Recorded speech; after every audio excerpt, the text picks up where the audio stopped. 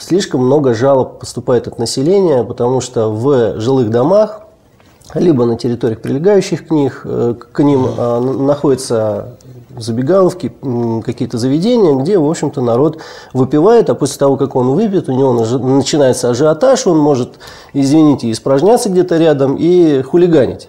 Угу. Естественно, жильцам это... Что всегда практически да, бывает. Да, и это жильцам не нравится. Теперь, э, если говорить коротко, то теперь э, э, у нас возможно продажа алкоголя в разлив, обращаю угу. внимание, э, в, только в организованных Э, я бы назвал их даже вот конкретно ресторанах. То есть угу. теперь мини-кафе, какие-то закусочные, забегаловочки, вот Тут эти, то, что они забегаловки не работают. Очень точное да. название. Прям. Да, да, да, да, да, потому что здесь очень тонк, тонкая угу. грань такая, надо да. ее понимать. Если ресторан, то это уже какое-то большое помещение, там уже есть официанты, ну и соответствующее а, а, высокое обслуживание. А в, в основном вот в разливочные ходят, э, ну, скажем так, люди ну, такого как сказать, низкого сословия, можно сказать. Ну, тут все понятно. Кто-то, да. Да, и, соответственно, им вот преграждается этот путь. Кто будет обеспечивать его э, соблюдение и следить за этим? Вот будут ли тогда полицейские, э, ну, вот как-то вот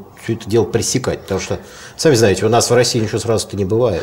Ну, вы знаете, у нас есть административно-технические инспекции. Ну, у них полномочия будут, Есть, да? конечно, да, обязательно. Вот. И, естественно, правоохранительные органы, они угу. в силу своих Совместно. полномочий будут, да. Есть...